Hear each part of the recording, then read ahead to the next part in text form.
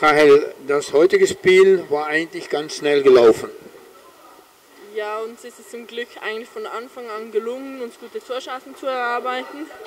Haben heute relativ viele auch noch ausgelassen, aber konnten zum Glück durch gute Aktionen schon relativ früh jetzt 2-0 in Führung gehen. Auf diesem Moment läuft es mit MSV ganz gut. Eigentlich darf der Aufstieg nicht mehr schief gehen, oder? Ja, wir haben jetzt immer noch acht Punkte Vorsprung. Ich glaube, Kloppenburg hat auch gewonnen, so viel mir ist. Ja, und jetzt dürfen wir es uns echt nicht mehr nehmen lassen. Wir spielen so souverän, jetzt schon die ganze Saison. Und da können wir uns nur noch selbst im Weg stehen. Du warst ja heute auch Mannschaftsführerin, ein bisschen mehr äh, Verantwortlichkeit oder eine Ehre? Natürlich auch eine Ehre, wenn es so läuft, dann ist man immer, führt man die Mannschaft gerne an, aber es spielt ja eigentlich keine Rolle, wer die Binde tragt, weil wir haben hinten unsere Verantwortung, dass wir dicht halten hinten und die Leute führen von hinten und da spielt eigentlich gar keine Rolle, wo man jetzt die Binde anhat oder nicht.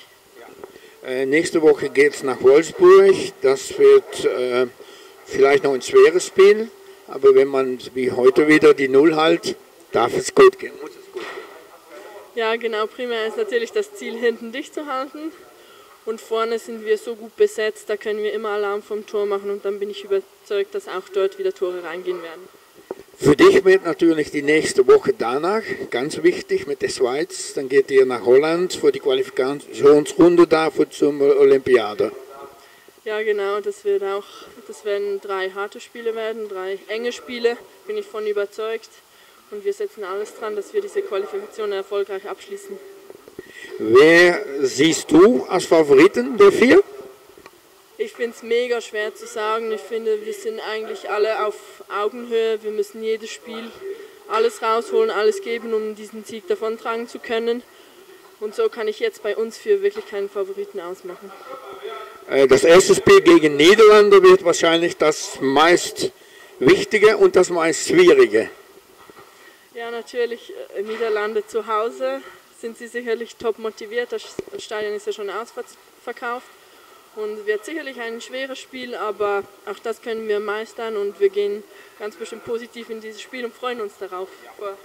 Und danach die Qualifikationrunde, dann kommt noch ein ganz wichtiges Spiel zu Hause gegen Italien. In die EM läuft es gut, aber das ist eigentlich auch das beslissende Spiel.